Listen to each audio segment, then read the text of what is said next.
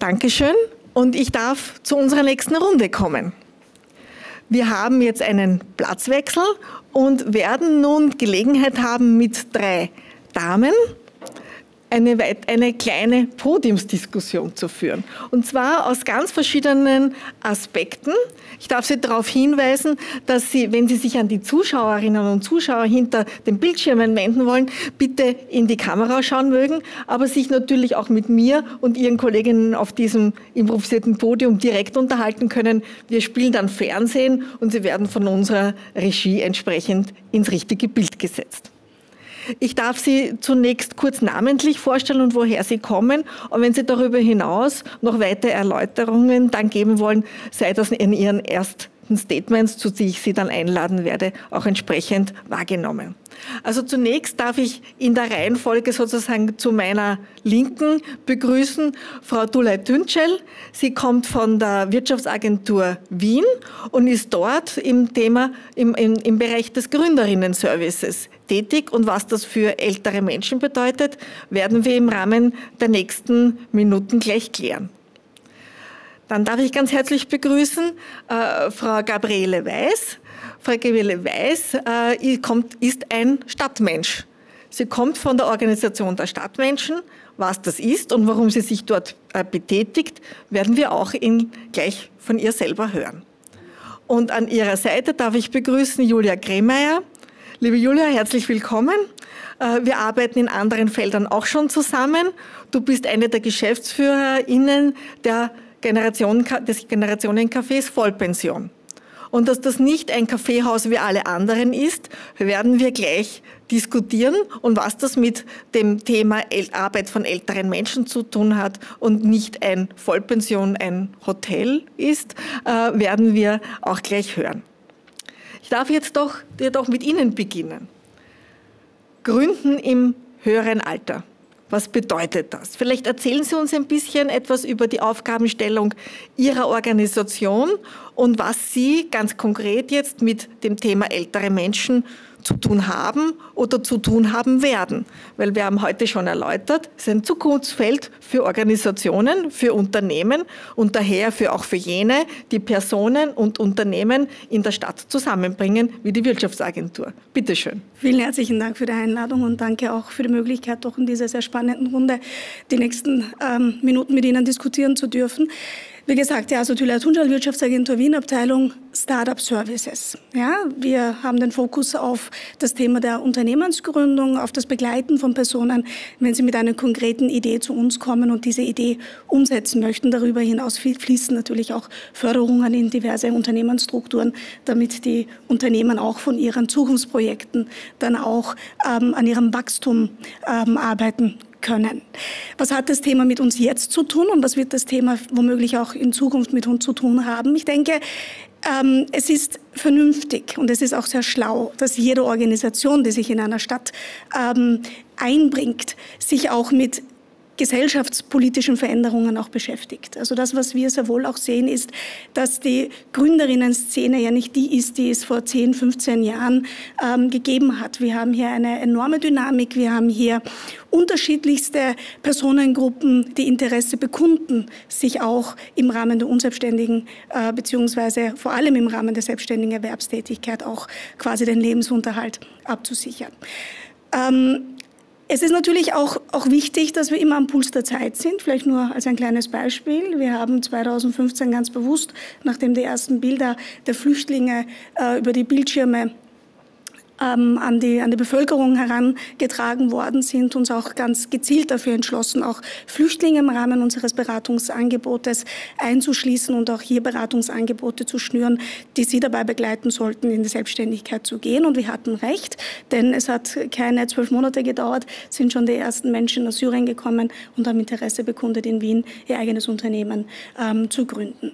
Wir sehen, dass ähm, auch innerhalb der Corona-Zeit relativ viele Menschen Ab einem bestimmten Alter, sagen wir 50 plus, 60 plus, gesehen haben, dass womöglich der bereits existierender Arbeitsplatz doch nicht so sicher scheint. Ja, und ähm, immer mehr Menschen haben sich womöglich ähm, an der Nase genommen und haben sich aufgrund der vielen Zeit, die wir doch alle äh, phasenweise hatten, auch Fragen gestellt, was kann ich denn gut und wohin könnte ich mich denn entwickeln, um nicht hundertprozentig abhängig zu sein von einer Einnahmequelle. Mhm. Ähm, wir haben relativ viele Anfragen auch bekommen von Personen, die in Richtung Pension sich bewegt haben. Immer natürlich auch mit der Frage, was können sie denn nebenbei machen, was können sie dann zusätzlich machen, um das bestehende Wissen ähm, zu manifestieren, um auch in Richtung Selbstständigkeit zu gehen. Ich denke, dass diese Veränderung, die wir jetzt global hatten, ähm, relativ viele Menschen auch dahingehend bewegt hat, um sich selbst Fragen zu stellen, wohin die Reise gehen kann. Das ist auch der Grund, warum die Wirtschaftsagentur Wien auch äh, Personen über 50 ähm, sicherlich auch einschließen wird im Rahmen der Beratungsleistungen, die wir, die wir schnüren. Ausdrückliche Beratungsangebote für die Zielgruppe gibt es nicht, weil ja die Zielgruppe inkludiert ist in die bestehenden Beratungsangebote, die wir haben. Wir haben ja keine Altersbegrenzung und deswegen sind sie selbstverständlich immer mitgemeint. Aber das wäre, denke ich, als eine politische Antwort nicht ganz fair und auch nicht korrekt, weil man muss ja auch jede Zielgruppe, die man gezielt erreichen möchte, auch servicieren und versuchen, auch diese Zielgruppe mit ihren Bedürfnissen abzuholen. Und ich denke, dass das sicherlich auch eine Frage ist, mit der sich eine Organisation wie die Wirtschaftsagentur Wien sicherlich auch beschäftigen wird. Dankeschön für dieses Eingangsstatement. Das ist ja auch der Grund für unsere Veranstaltung heute, uns mit diesen Zukunftsaspekten auch zu, auseinanderzusetzen und ein Stück weit dazu zu sensibilisieren, sich mit der wachsenden Gruppe der älter werdenden Klammer auf, Ex, Klammer zu, Arbeitnehmer äh, zu beschäftigen, also den Babyboomern, die sei es als Mitarbeiter, aber auch als Führungskräfte oder Selbstunternehmer langsam in das Pensionsalter äh, begeben und dass da äh, die gesellschaftliche Diskussion und die daraus folgende wirtschaftliche Diskussion noch am Anfang einer Entwicklung steht, das ist uns allen klar, weil es sind ja auch noch nicht so viele Babyboomer in Pension, aber in diesem Jahrzehnt wird ein Großteil dieser statistisch genannt Kohorte in Pension sein. Also Zeit, sich damit auseinanderzusetzen. Und ich sehe, es beginnt dieses Pflänzchen langsam zu wachsen. Wir werden darauf noch zurückkommen in den weiteren ähm, Diskussionen. Äh, ich darf zunächst jetzt äh, Sie, Frau Weiß, bitten. Sie sind bei der Organisation Stadtmenschen dabei.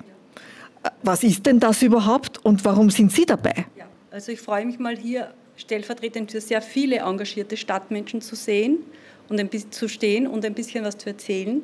Kommen Sie vielleicht ein bisschen ein näher Verein, zum Mikro? Ja, danke. Ein Verein, wo in Sprechstunden über das sehr große soziale Angebot in Wien informiert wird. Zu uns kommen Menschen in Notlagen, äh, die Hilfe suchen, die oft finanzielle Probleme haben, Probleme mit Wohnungen, mit Gewalt vielleicht oder auch, auch nur sprachliche Probleme mit Formularen.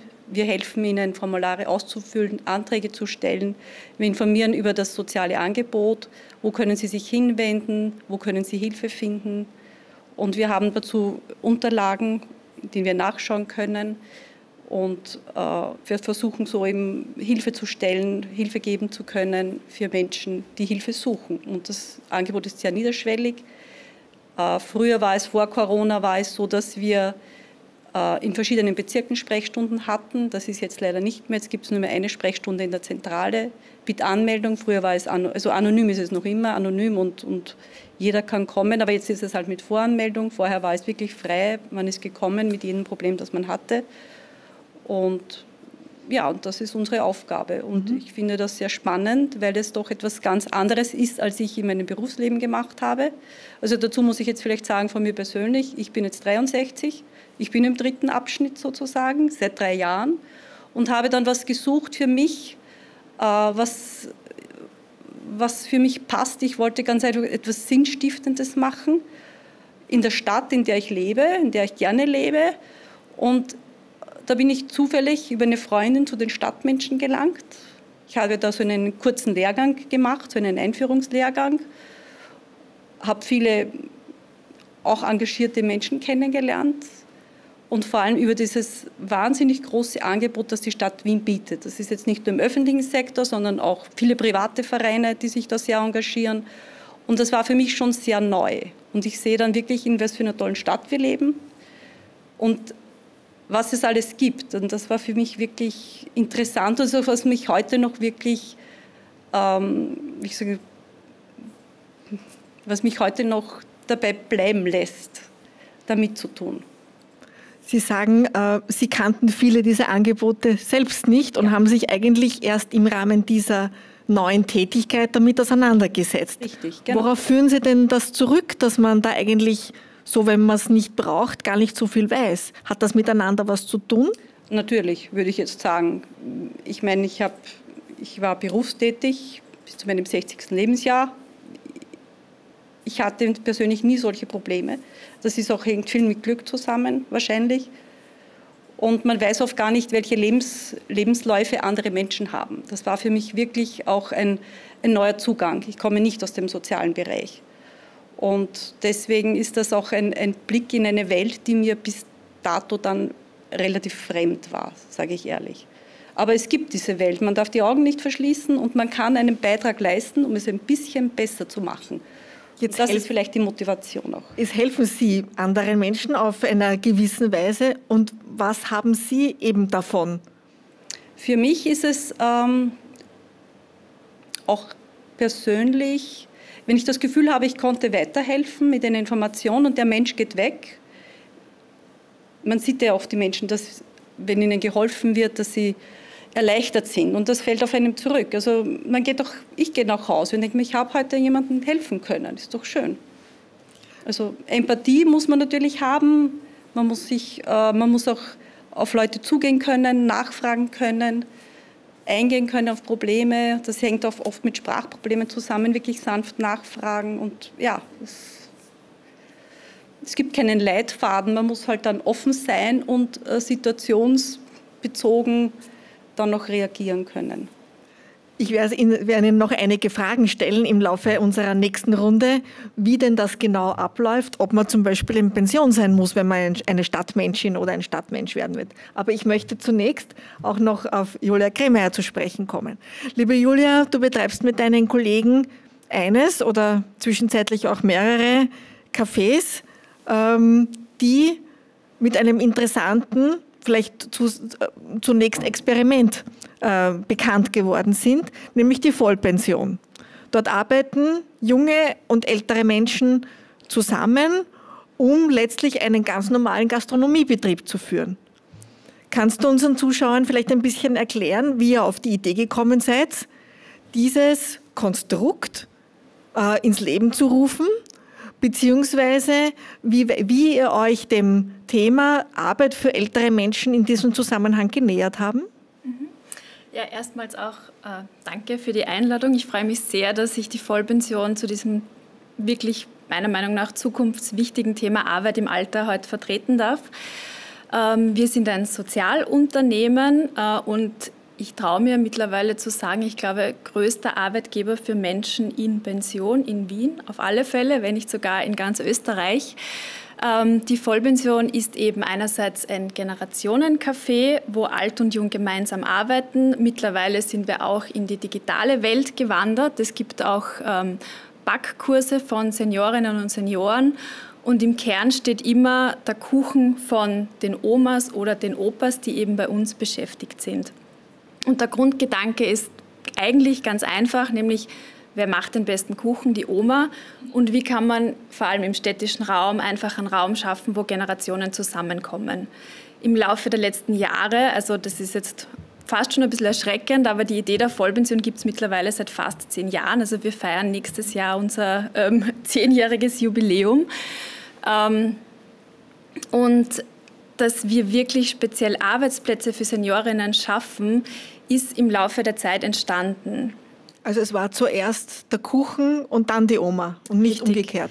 Der, der, Kuchen und die Oma, aber dass es ein, ein Thema gibt, nämlich speziell für Frauen, dass Frauen einfach, haben wir heute auch schon gehört, ähm, wenig Pension haben und sich dadurch ähm, einfach auch was dazu verdienen müssen. Das ist im Laufe der Jahre gekommen und deswegen sprechen wir eben auch speziell dieses Thema an, eben Altersarmut speziell bei Frauen in der Pension und eben auch das Thema Vereinsamung. Ja? Ähm, und um das eben ins Positive zu drehen und ich glaube, das ist das, wofür die Vollpension einfach steht. Wir sind ein Ort, wo gelacht wird wo viel Lebenslust ist, wo auch hin und wieder gestritten wird. Also Generationendialog heißt ja nicht nur, dass man einer Meinung ist, im Gegenteil. Ähm, und das ist eben auch so dieses Experiment. Also wir sehen uns einfach als Experimentierraum für das und ähm, ja, sind aber mittlerweile eben haben aktuell 35 Seniorinnen und Senioren beschäftigt. Wenn sich jetzt jemand fragt, wie funktioniert das, die bekommen ein Gehalt dafür, sind geringfügig angestellt, kommen entweder fünf oder zehn Stunden äh, in der Woche arbeiten, genau, und werden dafür eben auch entlohnt. Also das ist ein gravierender Unterschied. Das genau. möchte ich äh, ganz gezielt hervorheben. Du hast das Wort Arbeitgeber zuerst angesprochen und das kann man in dem Zusammenhang, glaube ich, auch nicht genug betonen. Es geht hier nicht um Freiwilligentätigkeit und sozusagen das Hobby zum Beruf machen. Schon auch, aber es ist dann ein wirklicher Beruf. Es ja. ist kein kein Hobby, das man in der Pension einfach macht. Es kann sich natürlich in der Persönlichkeit, in, in, in der Person über, überdecken, aber eigentlich hat sich bei euch äh, die Arbeitgeberebene stärker etabliert, als es vielleicht ursprünglich der Fall war? Oder wie hat sich das entwickelt? Ja, genau, das, das meinte ich eben vor. Das ist einfach ein Prozess über die ersten vier, fünf Jahre. Mittlerweile wissen wir einigermaßen eben, wie wir, wo wir da ansetzen möchten. Ähm, und ich finde es immer wieder spannend, wenn eben dann Leute kommen und sagen, ah, die, sind, die, mach, die Seniorinnen machen das nicht ehrenamtlich. Eben nein, das ist ein Unterschied und ich glaube, es macht auch ähm, einen ich sehe das bei unseren Seniorinnen, weil es ist eben ein Dienstverhältnis und durch dieses Dienstverhältnis, also da gibt es Dienstpläne, da gibt es eine App, die man, die man braucht, damit man sich in die Stempeluhr einloggen kann. Also das sind einfach Systeme, die wir, mit, die wir haben, damit der Betrieb funktioniert. Und so ja, locken wir unsere Seniorinnen einfach, also wenn man mit uns arbeiten will, dann muss man auch eine gewisse Offenheit mit sich bringen, eben auch weiter zu lernen, was ja speziell eben in der dritten Lebenshälfte ähm, einfach auch wichtig ist. Ja? Eben, der Herr Stieger nennt es die Vision, die man haben muss. Ja? Ähm, genau, dass man einfach dran bleibt. Und ich glaube, dafür steht die Vollpension. Kann es da auch zu einem sozusagen Konflikt kommen, äh, weil das verwechselt wird, Freiwilligentätigkeit, ich bin in Pension, ich teile mir das halt ein und der Disziplin, die ihr als Arbeitgeber auch einfordert, beziehungsweise auch im Sinne des laufenden Betriebs einfordern müsst. Ja, ja, also das, ist, das, das meinte ich. Also da gibt es natürlich viele Diskussionen, weil ähm, das, was wir auch sehen, dass Seniorinnen gerne flexiblere Arbeitszeiten haben. Also es ist eben schon anders und der Anspruch an den Arbeitsplatz ist eben schon auch, ja, ich möchte da auch mitreden, ja, und das ist natürlich eine Herausforderung und eigentlich ein ständiger Verhandlungsprozess, ähm, den wir miteinander führen, damit eben einerseits wirklich der Betrieb funktioniert, weil wir eben wirtschaftlich ähm, einfach ja, funktionieren müssen ähm, und es aber gleichzeitig Arbeitsplätze sein sollen, die eben für alle passen. Mhm. Wir haben ja als Titel für unsere Veranstaltung die etwas provokante Formulierung gewählt, Arbeit im Alter, Ressource, Zwang oder Selbstverwirklichung, um vielen dieser Aspekte, die du jetzt vielleicht mit anderen Worten angesprochen hast. Äh, ohne die Seniorinnen und Senioren könntet ihr die Vollpension nicht führen. Richtig. Beziehungsweise nicht mit dieser Konstellation, die ja auch eine, wie sagt man, ein Unique Selling Point ist, nämlich dafür bekannt zu sein, dass man mit älteren Menschen euer Business betreibt, das am Ende für die Besucherinnen und Besucher ein ganz normales Kaffeehaus sein soll, egal wie sich im Backoffice sozusagen die Organisation darstellt. Also ihr müsst mit Ressourcen sozusagen umgehen, äh, mit, wie man eben so sagt in der Wirtschaft, mit den Human Resources. Und äh, müsstet sie entsprechend einteilen. Das hat ein bisschen an Arbeits Rahmen, um nicht zu sagen den Arbeitszwang, die Disziplin, die dafür erforderlich ist, aber es bietet auch den, den, den Omas und Opa, wie es ihr als Arbeitsbezeichnung sozusagen habt, ja aber auch ein Stück weit dieser persönlichen Selbstverwirklichung, aber gegen Bezahlung. Also es kommen viele Aspekte und das freut mich natürlich äh, sehr hier in eurer Tätigkeit zusammen. Eines, was ich jetzt von Ihnen allen dreien gehört habe, also auch danke dir mal für das Eingangsstatement, ist das Thema Wertschätzung.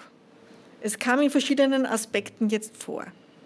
Ähm, ich habe bei einer der vorigen, ähm, bei euren vorigen Präsentationen gefragt, na, wenn man jetzt so arbeitet im Alter, was ist denn da wichtiger? Dass man auch Geld kriegt dafür wie soll Freiwilligentätigkeit irgendwie monetär auch bewertet sein? Beziehungsweise war es nicht schön, wenn man auch einen Orden kriegen täte? Wie würden Sie dieses Thema der Wertschätzung aus Ihren verschiedenen Gesichtspunkten beleuchten? Wer möchte dazu was sagen? Also bei den Stadtmenschen ist es ja freiwillige Tätigkeit, Engagement, Ehrenamt. Äh, die Wertschätzung, die ich bekomme, meinen Sie das, oder die ich gebe? Also wertschätzend muss man natürlich den Klienten sein, sonst kann man das nicht machen. Also man muss vorurteilsfrei sein und auch eine gewisse Empathie haben, sonst kann man das nicht machen. Mhm. Und ich habe eine Frage auch bekommen zu dem Thema Stadtmenschen. Ja. Sind total in Pension die mitarbeiten nein, nein, und nein. muss man das hauptamtlich machen? Nein. Also das Schöne bei den Stadtmenschen für mich ist auch die, wirklich die Freiheit, die ich habe, wie oft, wie oft ich das machen will. Es gibt immer einen Monatsplan mit den Sprechstunden, da kann man sich einloggen und kann ich sagen, ich mache zwei Stunden im Monat, drei Stunden. Es ist wirklich sehr frei. Und die Sprechstunden sind über den Tag verteilt, auch wochentags von also vier Wochentage und drei Stunden oder so unterschiedlich. Also es gibt tagsüber Sprechstunden, es gibt auch immer eine relativ am späten Nachmittag. Und das macht es halt dann, die Tagesfreiheit hat man halt, wenn man entweder in Pension ist oder vielleicht auch Student ist. Es gibt, also ich glaube, der Mehrheit wird sicher in Pension sein, würde ich jetzt mal sagen. Also muss man vielleicht die Kolleginnen fragen vom Büro. Aber auch bei meinem Kurs, wir hatten viele junge, auch Studenten, auch noch im Arbeitsprozess befindliche Männer und Frauen, also es ist schon gemischt, es sind nicht nur Frauen, es sind bei uns auch Männer, sehr engagierte Männer, muss man auch sagen. Äh, aber die, die dann wirklich übrig bleiben, sind dann schon oft Frauen in Pension. Das lassen wir jetzt mal kurz so stehen. ähm, ich, ich, möchte mich äh, noch einmal an Sie wenden, Frau Dunschel. Sie haben äh, zuerst gesagt, ähm, Sie haben sich jetzt noch nicht äh, als dezidierte Zielgruppe mit älteren Menschen befasst, sehen dieses Thema aber sehr wohl am Horizont, was ja schon ein wichtiger erster Schritt ist. Wir haben heute am Vormittag von einer Kollegin von der Arbeiterkammer, Arbeiterkammer von der Frau Magister Weißensteiner viele Aspekte gehört, die man berücksichtigen muss und sollte, wenn man äh, rund um die Pension, vor der Pension, aber auch kurz nach der Pension als Individuum arbeitet oder arbeiten möchte. Eine der Fragen, die von Ihnen gekommen ist, ist, ist denn diese Selbstständigkeit, also das ein Start-up gründen, in der Pension überhaupt möglich? Ähm, vielleicht nur kurz vorweg. Wir haben jetzt oder wir sind gerade dabei, dieses Projekt abzuschließen. Wir haben pilotiert mit der Zielgruppe 50 Plus. Gemeinsam mit der Bildungsdirektion Wien ähm, haben wir ein EU-Projekt mit weiteren anderen europäischen Städten auf die Beine gestellt. Da ist es gerade auch um die Generationenfrage gegangen. Schaffen wir es, junge Gründerinnen, Teams, die in den Schulen fiktive Businesspläne erstellen, mit Gründerinnen 50 plus zusammenzubringen und einfach zu schauen, wie können denn diese beiden Generationen voneinander lernen, ähm, weil ich glaube, dass beide Seiten sehr, sehr viel voneinander mitnehmen können. Ähm, und wir scheitern natürlich auch immer wieder auch an, auf unterschiedlichsten Ebenen. Zum Teil natürlich auch, wenn es um die Frage der Erreichbarkeit geht. Also welche strukturellen Plattformen gibt es überhaupt, Menschen zu erreichen ähm, oder Menschen überhaupt auf die Idee zu bringen, sich auch optional selbstständig machen zu können. Die Frage, darf ich mich überhaupt selbstständig machen oder nicht machen, ist eine Frage, ähm, die müsste man natürlich auch aufgrund der eigenen Einkommensrealität sich dann genauer ansehen. Ähm, wir wissen, dass relativ viele Frauen, Julia, du hast es auch angesprochen, aufgrund ihrer Erwerbstätigkeit vor der Pensionierung immer noch auf die Ausgleichszulage angewiesen sind, was natürlich Einkommensminimum bedeutet. Ähm, für viele Frauen vor allem bedeutet es auch Armut, wenn sie in Richtung 60 plus gehen. Und ich glaube, dass eine Gesellschaft sich äh, sicherlich vor dieser Realität überhaupt nicht verstecken darf. Es gibt ja schon seit sehr, sehr vielen Jahren ja immer wieder die Einkommensdebatte, die dann, wenn es dann wirklich wirklich dann ernst wird mit 60 plus, dann so richtig spürbar wird, ob man überhaupt in dem jeweiligen Winter heizen kann oder sich die Miete leisten kann. Ähm, vielleicht noch einmal ganz kurz zu der Frage der Wertschätzung. Ich denke, dass man Wertschätzung auf unterschiedlichsten Ebenen natürlich zeigen kann, aber in Anbetracht der Tatsache, dass eigentlich überwiegend Freiwilligenarbeit weiblich ist, ja, ähm, würde ich eher meinen, dass es absolut okay ist, wenn quasi der, der, der Arbeit, die man leistet, auch eine bestimmte Entschädigung dem gegenübersteht, weil einfach dieses permanente ähm, sich damit zu committen, zu sagen, ich passe auf die Kinder auf, ich führe den Haushalt und all diese Dinge sind ja auch Gratisarbeit, die die Frauen auch ein bisschen gemäß ihrer Sozialisierung sowieso ihr Leben lang äh, machen und auch selbstverständlich machen. Glaube ich, ist es absolut okay, sich auch die Frage zu stellen, ob man freiwilligen Arbeit sehr wohl auch mit der Frage der, der finanziellen Entschädigung auch, auch mit debattieren kann oder auch muss. Das ist womöglich jetzt mein Blickwinkel aus der aus der Wirtschaftsperspektive. Wenn, wenn wir uns international ein bisschen umschauen, dann sehen wir gerade Frauen, aber auch Männer, ältere Menschen werden auch in der Gesellschaft aus den Gesichts-, zwei Gesichtspunkten bewertet. Ich sage jetzt bewusst das Wort bewertet, nämlich ob sie ein Problem sein werden, wenn sie entweder jetzt oder auch in Zukunft noch vermehrt Pflegebedarf brauchen und was das für die Gesellschaft bedeutet. Da wissen wir aber, zum Beispiel in Wien ist die Gruppe 80 plus 5 Prozent, 85 plus nur 2 Prozent der Bevölkerung aktuell. Es wird sich ein bisschen ändern, aber anteilig wird es sich gar nicht so viel verändern. Und ob sie im Arbeitsmarkt noch bleiben sollen, also länger arbeiten sollen, als es heute der Fall ist. Also aus diesem Aspekt werden momentan auch international gesellschaftlich ältere Menschen betrachtet. Sind sie noch eine, eine Arbeitskraft oder kosten sie der Gesellschaft einen Aufwand und eine Erfordernis, zum Beispiel für Pflegekräfte, wenn sie dann Pflegebedarf haben? Und diese Zeit dazwischen, die ja noch so gewinnbringend verbracht werden können, sowohl für einen, inhaltlich und monetär, so wie wir gehört haben, ähm, die kommt gar nicht vor. Wie sehen Sie das in der Wirtschaftsagentur? Also ich glaube, man darf überhaupt nicht ausblenden, dass sich die Arbeitswelt jetzt gerade extrem verändert. Ja? Also die Diskussionen, die ihr jetzt äh, im Rahmen ähm, eurer Tätigkeit mit dem Personal führt, hat aus meiner Sicht wenig mit dem Alter zu tun, als mit dem Faktum, dass die Menschen viel mehr dazu neigen, flexibler zu sein, sich die Zeiten so einzuteilen, wie es einem besser reinpasst in den Ablauf. Ich bin unglaublich nachtaktiv. Meine besten Texte schreibe ich mitten in der Nacht. Ja?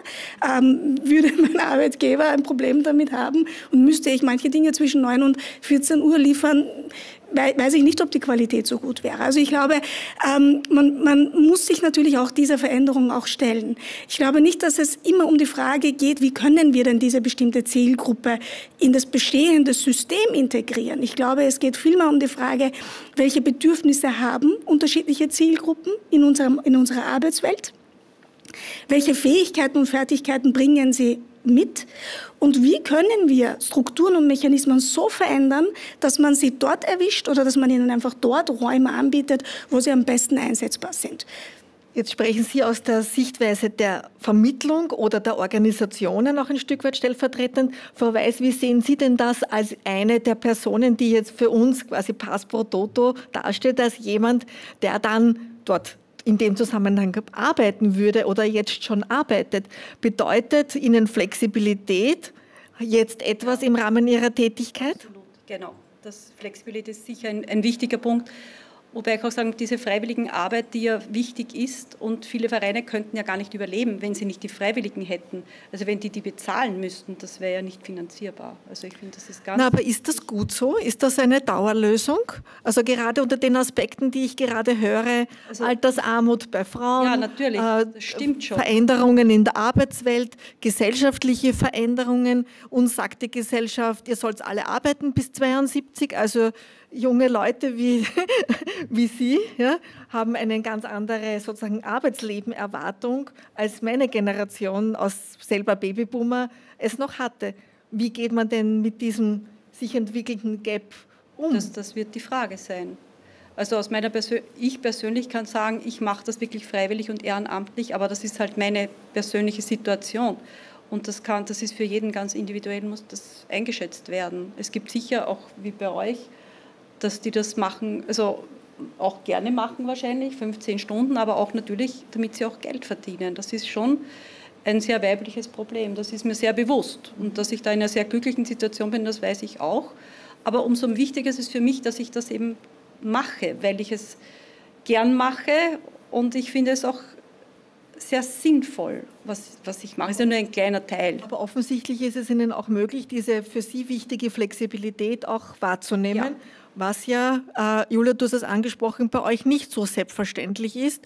Wie weit sind denn eure Omas und Opas, und das meine ich, so, meine ich sozusagen jetzt als Arbeitstitel, so ist es ja auch bei euch ausgemacht, dass egal, ob man selber Kinder oder Enkel hat, das ist ein, der Arbeitsposition, der Arbeitstitel ist ein Oma oder eine Opa, ein Opa oder eine Oma in der Vollpension zu sein.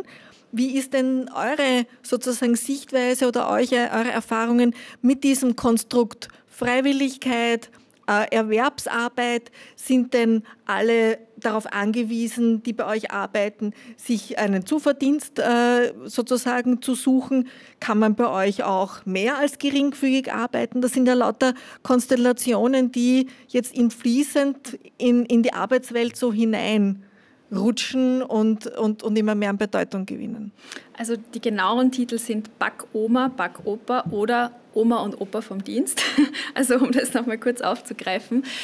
Ähm, ich glaube, es kommen mehrere Ebenen zusammen, nämlich auf das würde ich gerne nochmal zurückkommen, was du vorher gesagt hast. Also ich glaube, wir müssen uns einfach lösen von dem Bild eben, jemand arbeitet und dann kostet er der Gesellschaft etwas. Das, was wir machen, ist eben dieses Verschwimmende. Also es gibt eben nicht den harten Pensionseintritt äh, und Übergang, sondern ich bin eben noch weiter tätig. Und also unsere sind alle zwischen 60 und 75, sage ich jetzt mal. Also genau dieses Alter, wo man eben sehr wohl noch irgendwie aktiv sein kann.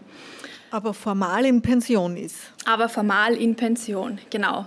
Ah, ich sage jetzt mal 95 Prozent. Wir haben jetzt mittlerweile auch ältere Arbeitnehmerinnen, die kurz davor sind, also so sprich 58, 59 Jahre, die aber keinen Job mehr finden. Mhm. Also wir, wir bewegen uns das auch in ein Feld, weil wir einfach schauen wollen, ja, es geht ja nicht nur um Seniorinnen und Senioren, sondern einfach generell um ältere Menschen, die einfach am Arbeitsmarkt keinen Platz mehr bekommen. Genau, also das ist das eine und ich glaube als Organisation und das ist so die, die unternehmerische Sicht und bei uns ist das einfach die Entscheidung, dass wir eben sagen, wir wollen das so organisieren, weil natürlich, also wenn ich jetzt rein wirtschaftlich denken würde, ähm, würde ich mir nicht für fünf Stunden Leute hereinholen, weil das, der Verwaltungsaufwand ist einfach so massiv, das rentiert sich nicht. Ja? Mhm.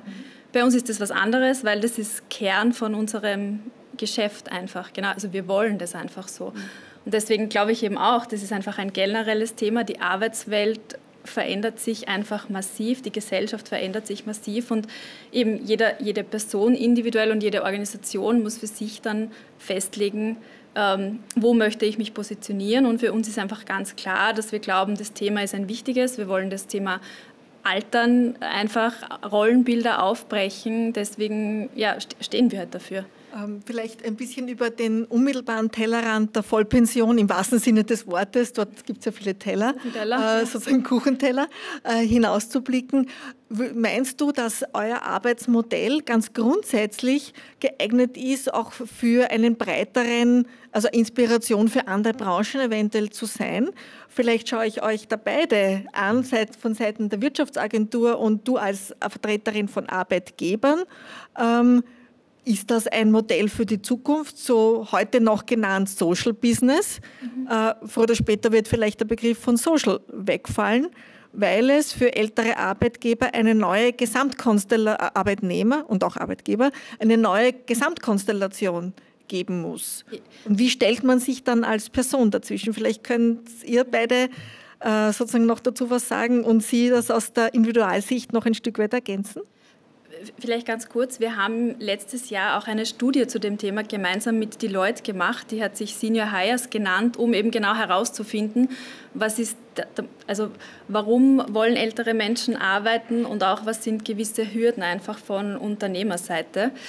Ähm, und äh, ja, herausgekommen ist da ganz klar, also es ist nicht nur das Geld, sondern eben auch sehr stark die sinnstiftende Tätigkeit äh, und das eben speziell in Bereichen der Gastronomie und Dienstleistungsbranche. Also ich glaube einfach, ähm, dass dieser Bereich äh, sich perfekt eignet für eben ältere Arbeitnehmerinnen, weil der genau das verbindet. Ich verdiene mir etwas dazu und ich habe Kontakt zu Menschen. Also weil ich glaube, das ist auch was, was uns alle schon sehr verbindet. Also weil man sucht ja den Kontakt zu Menschen. Eben ich will ja nicht dann zu Hause sitzen und vereinsamen, sondern ich, ich brauche die Menschen. Also ich glaube, dass die, die Zukunft das sehr wohl das wird mehr zusammenwachsen. Es wäre einfach auch ein Wunsch, dass das Modell eben geringfügige Beschäftigung mhm mehr wird. Ja.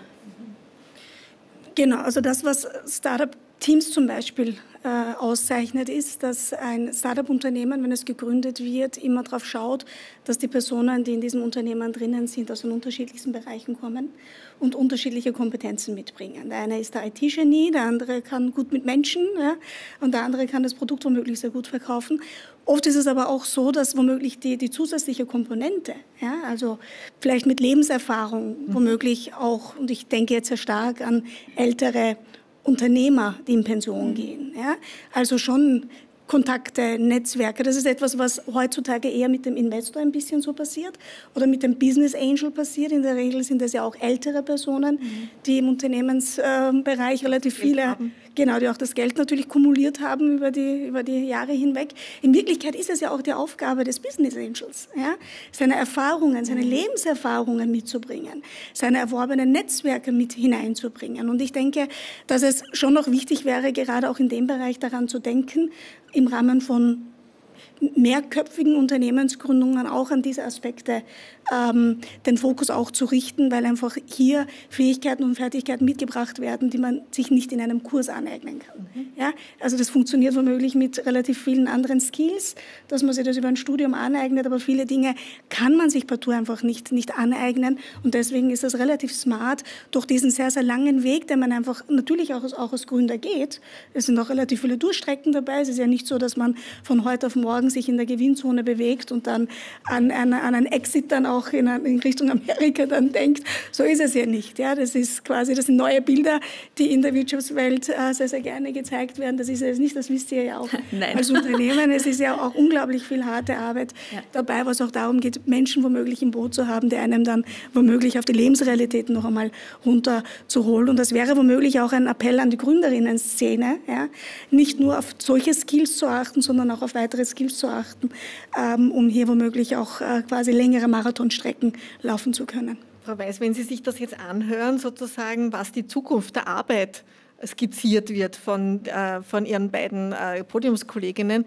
Wie hört sich das für Sie an? Vielleicht ja, können glaube, Sie dann noch einen Punkt dazu sagen, bevor ich Ihnen gemeinsam genau. noch eine Abschlussfrage stellen Also werde. das Modell, das ihr, ihr dann vertretet, ich gründe ein Unternehmen, das heißt, ich muss mich ja dann voll engagieren, quasi 40, 70 mehr Stunden als 40 wahrscheinlich. Also ob man das will, weiß ich jetzt nicht, wer das will. Und vor allem, warum macht man? Macht man es, um, um sich zu verwirklichen? Macht man es, um Geld zu verdienen? Das sind verschiedene Motivationen, die man dann wahrscheinlich hat. Ja.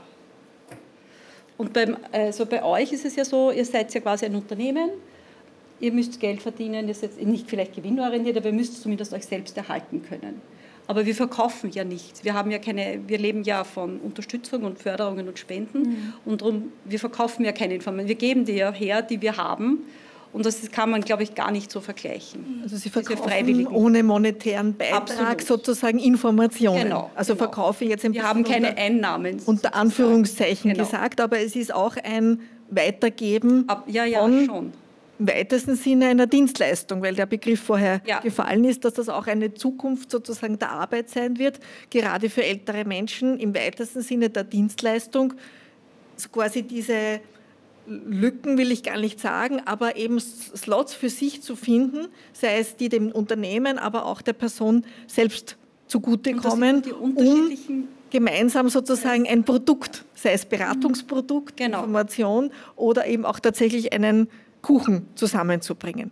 Vielleicht noch eine zusammenfassende Frage, die aus äh, unserem Mentimeter-Fragen äh, gekommen ist, die äh, anregt, statt dem Wort Arbeit in dem Kontext, in dem wir gerade diskutieren, das Wort Beschäftigung zu nehmen, weil Arbeit sozusagen ja manchmal so negativ konnotiert ist. Gerade auch Aspekte, die wir in vorigen Vorträgen heute am Nachmittag gehört haben, wo quasi das Arbeitsthema, na wenn ich dann nicht mehr arbeite, na Gott sei Dank, die Pension so auch ein bisschen als, als sozusagen Regenbogen äh, oder Einhorn-Thema äh, wahrzunehmen.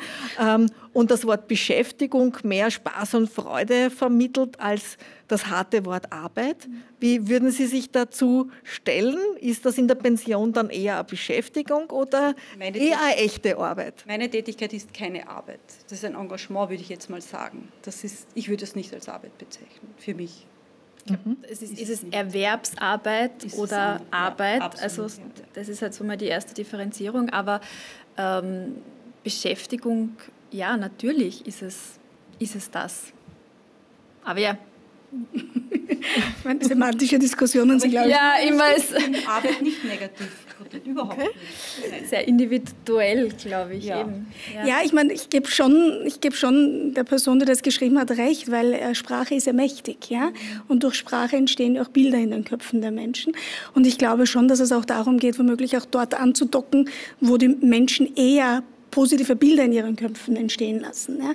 Und deswegen, ich, also ich nehme das heute mit, ja, dass das Thema Arbeit oder dass Terminologien wie Arbeit womöglich in diversen Zielgruppen eher negativ konnotiert sind und dass es sicherlich auch Sinn macht, womöglich mit, mit Begrifflichkeiten zu arbeiten, die positivere Emotionen entstehen lassen.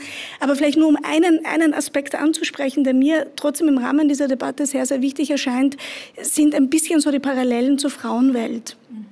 Wir haben ja gerade bei Frauen natürlich auch immer wieder das Thema, machen sich Frauen auch selbstständig? Ja? Wir haben das Thema Empowerment bei Frauen immer wieder auch im Rahmen von diversen Diskussionen immer wieder auf der Tagesordnung und trauen sich das die Frauen überhaupt zu, dass sie in Richtung Selbstständigkeit gehen.